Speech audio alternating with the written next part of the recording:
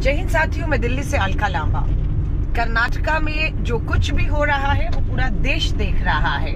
भक्तों को मिर्ची लग रही है कि कर्नाटका से हमारा क्या लेन देन बेगानी शादी में अब्दुल्ला दीवाना क्यों बन रहे हैं? इन भक्तों को बताइए, जब भारत हमारा है, देश हमारा है, और कर्नाटका उसी देश का एक अभिन्न अंग है, और बिल्कुल अगर भारत हमारा देश हमारा तो कर्नाटका भी हमारा, और कर्नाटका में जिस तरीके की राजनीति हो रही है, ये देश के लोकतंत्र को चिंतित कर देती है।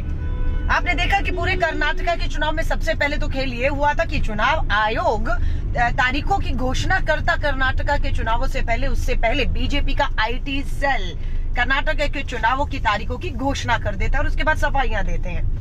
उसके बाद तो कल फिर एक ट्वीट आ गया कि राज्यपाल जो है वहाँ के, अब, किसी को सरकार बनाने के लिए आमंत्रित करते, उससे पहले भाजपा के एक विधायक ने राज्यपाल से पहल की घोषणा से पहले ट्वीट करके सबको घोषणा कर दी कि हम जो है वो बीजेपी सरकार बनाने जा रही है और बीजेपी को चीफ मिनिस्टर को जो है शपथ का न्योता मिल गया क्या जब थूतू हुई तो फटाफट अपना ट्वीट डिलीट करना पड़ा। और आपको मालूम है, इस बार कर्नाटका चुनाव में पहले पता लगा 100 करोड़ नगद पकड़ा गया। फिर अंत में जब चुनाव खत्म हुए तो पता लगा 118 करोड़ रुपया नगद नगद पकड़ा गया है। ये कब पकड़ा गया?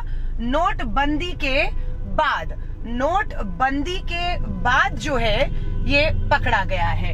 आ, मैं माफ़ी चाहूँगी मैं अपनी विधानसभा में पहुँच चुकी हूँ और यहाँ मुझे लगता है कोई हादसा हुआ है। कोई हादसा हुआ है? आ, मैं आपसे समय चाहूँगी कि मैं पहले इस हादसे को देख लूँ कि इसमें क्या है क्यों लोगों ने इतनी भीड़ लगाई है मैं आपसे दोबारा जुड़ूँगी।